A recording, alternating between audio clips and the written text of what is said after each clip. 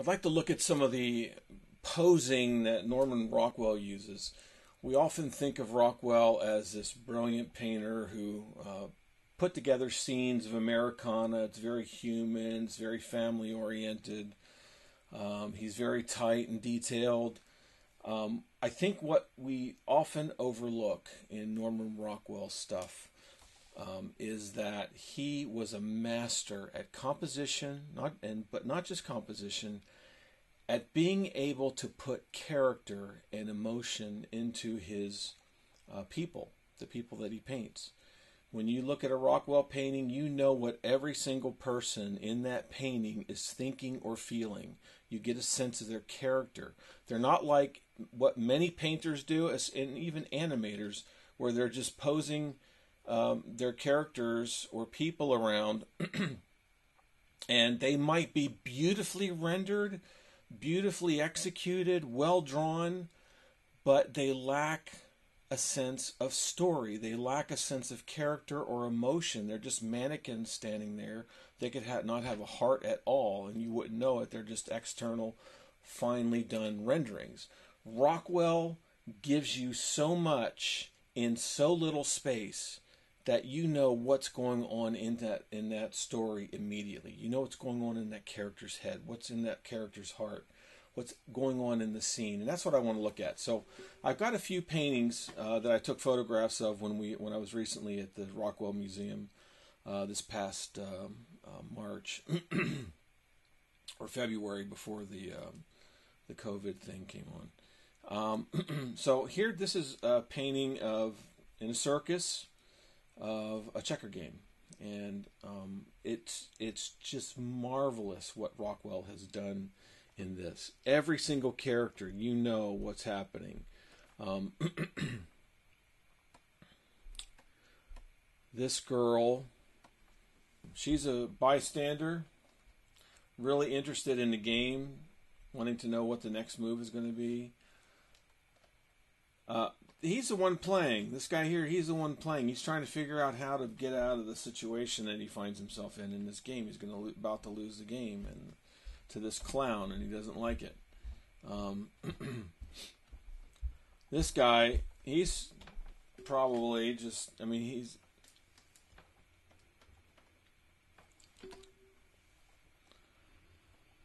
This guy here, he's really interested in the game. He's he's fascinated by what's going on, and he's trying to figure out how this clown has, you know, put the fix on them in this game and beat him, right? And the clown is very happy. He's uh, he's got the game, and he knows that there's his move. He's done. Um, but let's look more deeply at what's going on in terms of posture. Um, for instance, this guy. so he's got this marvelous posture where he's solid. Rockwell's characters are always solidly planted on in reality. and his head is over. Beautiful posture. You know exactly what's going on here. He's leaned over into that. Um,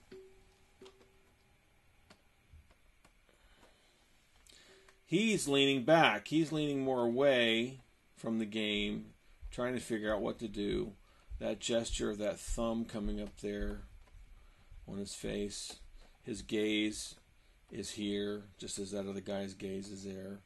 Um, so he's leaning back, contemplating how he's going to get out of this mess. How can he win the game? She's also leaning into it, and she's over, which is kind of nice. So she's got this posture here, nicely framing him uh, over the game. So all of them are sort of like a unit on this game board, right? They're all looking down at the pieces, leaning into it, leaning out of it, but he's still, even though he's leaning away, his body is directing them down to the, the game board. She's leaning over the game board, right? And so her curvature is pointing us back. His curvature is pointing us in there. The clown is sort of doing the same thing. He's got this sweep which is kind of a nice thing where he's feeling a little bit light on the air, maybe, I don't know.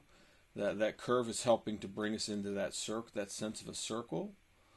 And then he's straight up in terms of posture. He's he's upright. He's not he's not leaning into it, trying to figure it out. He's not leaning back, trying to contemplate it. He's solidly up and vertical in that. And the only thing that's really gesturing telling a story is this hand, right? The hand is then putting it back, going, "Ah, oh, I've got you. See, it's my."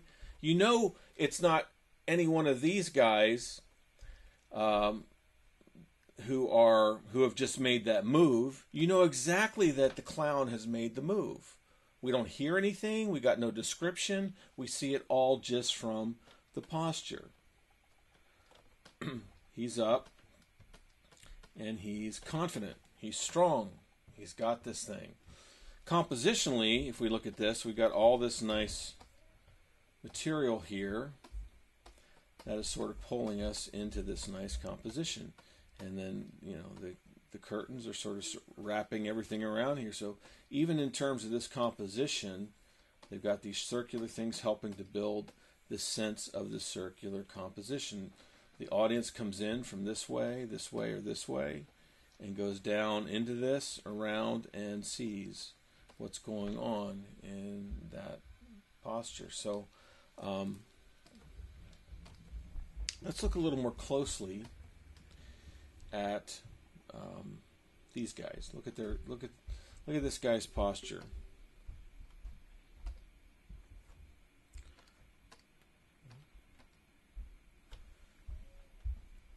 Okay, so his head.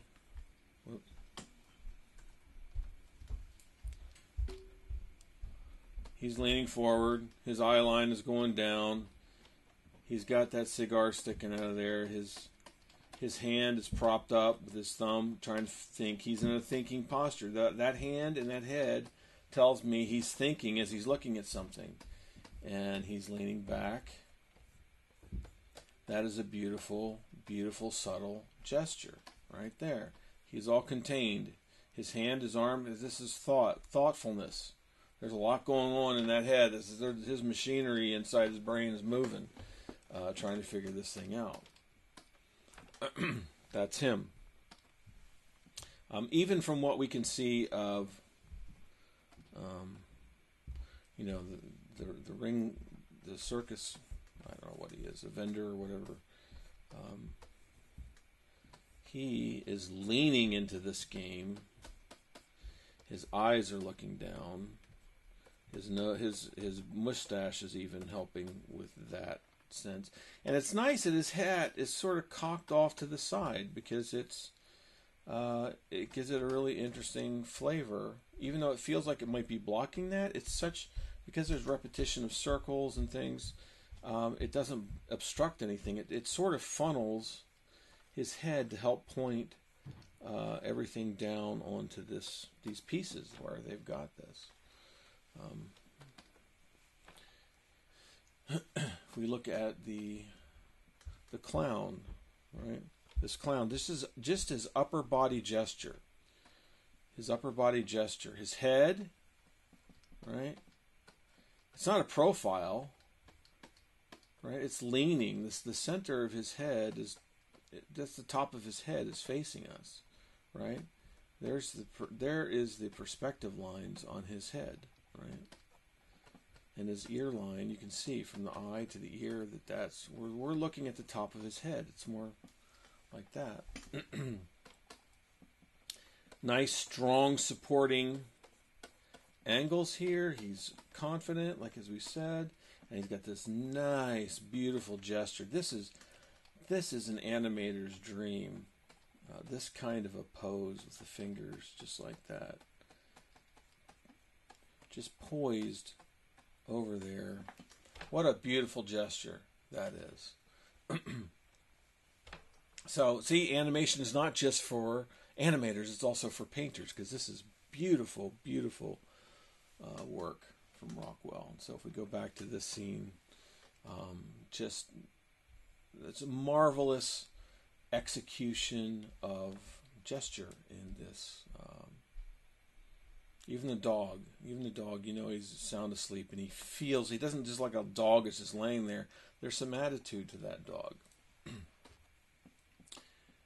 Here's another, um, st- this is actually a pencil study preparatory uh, to um, one of his uh, paintings. Uh, the painting was not at the uh, museum, but another example of excellent posing. The focal point, right, is this guy. He is the focus because he's silhouetted in there and he's standing apart. These girls, all three of these girls are together as a unit, so their their combined gesture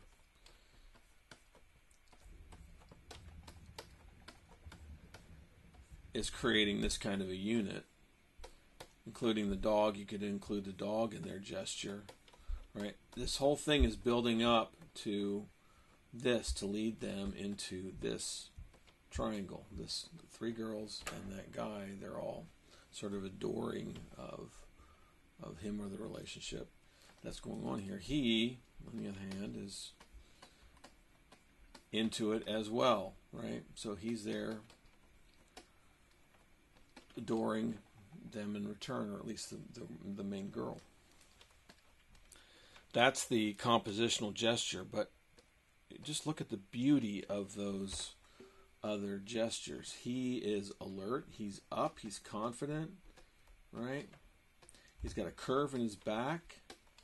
She's got a curve in her back, so you know these two are working together. I mean, he's in love with her and she's in love with him and she's perhaps this one here is perhaps wishing she was in love with him um, but we know that this girl here the one with the ponytail is the one who is into him right so her hands up here he's down here with his confident folding of the arms beautiful beautiful gestures um, this the gesture on this girl is really marvelous. I love this. Her whole upper torso is bent, and she's you know shifting on the one side of her rear end in, in that pose. We can see her her feet bent down here. Rockwell loved to to pull those pigeon toe those feet together. Her head sort of back and uh, leaning. So she's got a nice, look at that line.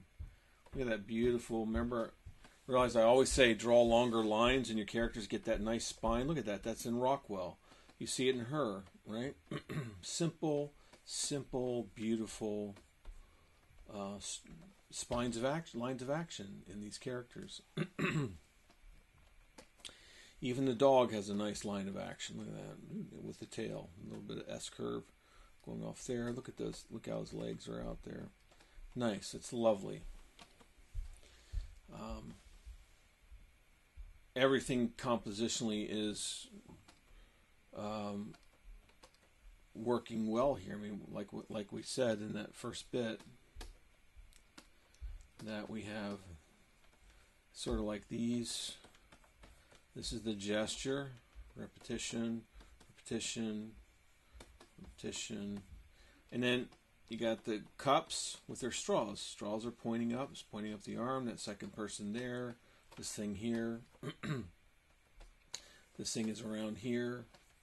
Um, all this is working together to help this composition work out so nicely. Now, if we go to one a close up, let me just go to a closer version I have of this um, here. We don't see anything else here. Now look at how well this works in close up. Just the head and shoulders. Whoops.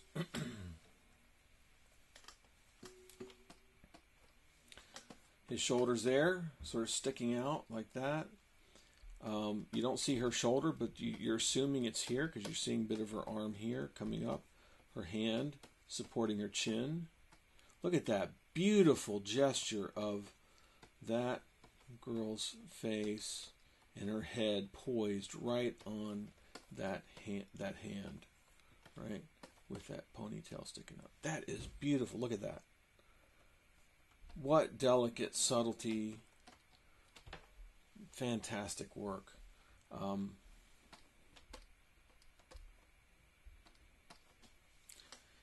his he's sort of sticking out a bit. His head is more alert, more like a peacock. His arms are nicely folded over right here. That's all working there. He's got a little bit of a turn on that. And um, that's a really nice, really nice pose itself with the hat. Even Rockwell, he doesn't even, he doesn't, th- nothing's thrown away. You could just so easily just put that hat anywhere. He figures out the best place to put that hat to communicate uh, the attitude. The attitude of that guy is really cocky and really happy that he's at this point.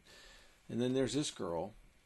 Um, just what little we see, what little we see, that silhouette of that wrist and that other hand, we're just we just we don't even see the fingers on this yet. We see how beautifully those things are that we know that she's holding her hands and her head in her hands, and she's got that adoring look on that pose there. So, um, just marvelous work. Again, and if I go closer, now it's in the expressions, right? Rockwell was really well known for his expressiveness, but you know exactly where these eyes are looking. They're all looking, they're locked. They are locked to one another, right? There's no question.